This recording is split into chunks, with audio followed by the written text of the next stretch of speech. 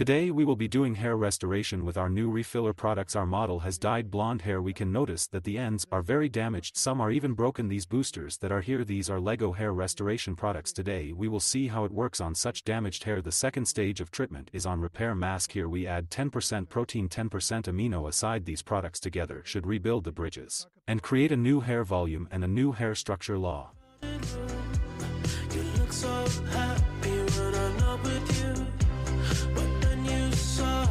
Caught you by surprise. A single teardrop falling from your eye. I don't know why. I run away. The second stage of the trituration takes place on a repair mask. This is where we add 10% protein, 10% amino acid. These products together should rebridge and create new hair volume and new hair structure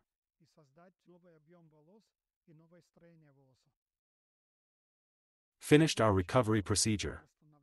When we do hair restoration, tactility is the most important thing. It's the feeling of a client sewing their hair all over again. My hair is much softer, much more manageable, it has a little volume, it's manageable and looks very shiny and superb.